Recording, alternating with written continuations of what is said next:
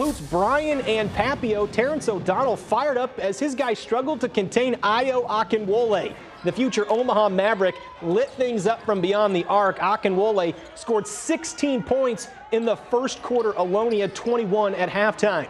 The Bears, though, hung with the state's top team. Keelan Moses hits from deep. Bryan actually led at one point, 16-13, but Papio proved too much. 74-53 the final at Omaha Bryan.